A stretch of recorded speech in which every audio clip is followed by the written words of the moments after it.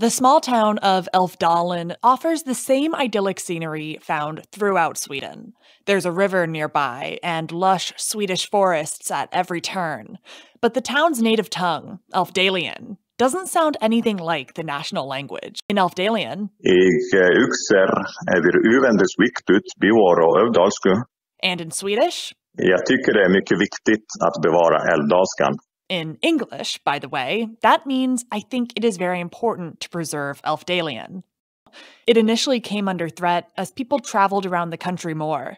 Swedish began to take over, and Elfdalian was stigmatized. My parents spoke Elfdalian with each other and with my grandma and with my aunts and uncles and everybody around. But when they turned to me, they spoke Swedish. For the world, I'm Bianca Hillier.